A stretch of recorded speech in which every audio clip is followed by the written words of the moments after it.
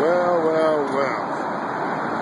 Got a $28 painter babysitting. Building and trade motherfuckers making $35 an hour. Man, might as well put a dime in charge of a dollar.